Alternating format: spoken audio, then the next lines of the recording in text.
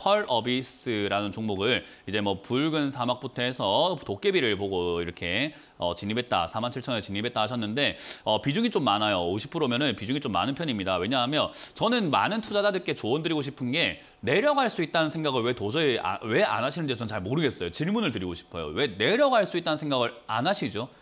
어, 왜 그렇게 투자하시는지 잘 모르겠어요. 그러니까 주식을 우리가 안전하게 할 수 있는 방법은 100% 안전할 수는 없지만 위험하지만 그래도 조금 더 안전하게 할 수 있는 방법 있잖아요. 예를 들어서 우리가 뭐 요리할 때 칼을 쓸 때 칼 위험하잖아요. 하지만 좀 더 안전하게 쓰는 뭐 파지법이라고 하든가 손 이렇게 잡는 방법이라든가 이런 것들이 있을 거예요.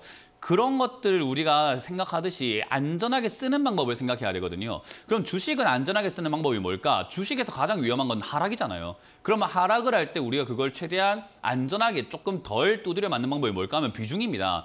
여기서 50%다 잡아버리게 되면 은 얘는 3만 원까지도 내려갈 수 있단 말이에요. 왜냐하면 과거에도 그 정도까지 내려갔으니까. 에이, 거기까지 내려갈 수 있나요? 더 내려갈 수도 있는 거죠. 그러니까 내려갔을 때에 대한 대비가 돼야 되는데 어쨌든 내려와서 자리를 잡고 내려갔다가 뒤에 올라갔을 때 만약에 여기 50%면은 아, 내려갔을 때 이거 버티기가 좀 힘들 수 있단 말이죠. 그래서 비중이 조금 많다. 50% 정도는 너무 많기 때문에 한 30%대나 한 25%대까지 줄이시고 그리고 난 다음에 여기서 자리 잡는 걸 좀 더 확인하고 나중에 서서히 비중을 늘려가시는 게 맞고 또는 내려가면 내려가는 대로 비중 늘려가시는 게 맞지 않을까 싶어요. 종목 잘 잡았고 분석도 괜찮았는데 비중이 조금 아쉽습니다. 그래서 비중을 저는 지금 자리가 그렇게 부담되는 매도하기에 부담되는 자리는 아니라고 생각이 들고 만약 부담된다면 조금 더 기다리시면 이 종목은 본전 언저리까지 올라올 것 같아요. 그럼 본전에서 비중을 일단 한 25% 그러니까 절반 정도로 줄이시고 나머지 로는 좀 지켜보시면서 얘는 하반기에 이제 뭐 붉은 사막부터 해서 도깨비니 뭐 이런 이야기가 좀 더 많이 나올 수 있으니까 그때 돼서 기다려보자. 그리고 중국의 뭐 판호 개방이라든가 이런 것들을 보고 투자해도 늦지 않다. 그때 서서히 비중을 늘려도 늦지 않으니